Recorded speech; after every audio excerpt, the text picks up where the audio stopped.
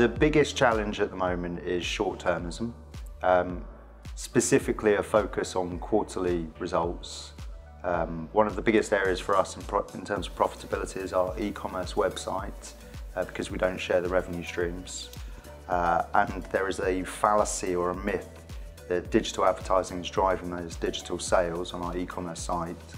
So as a focus area, we over-index in digital advertising and on delivering short-term profitability.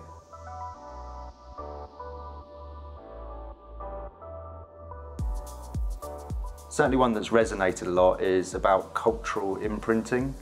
Um, so we read it from the Ad Contrarian uh, blog. And basically it's about the impact that advertising has on culture and the fact that we have a shared idea of what is good or bad, interesting or not. And that shared idea drives uh, growth because if you think something's cool and I think something's cool, we're both potentially attracted to it and we'll buy it. So I think it's a little bit old school, I guess, but trying to remember there's this bigger, wider picture than just segmentation and targeting.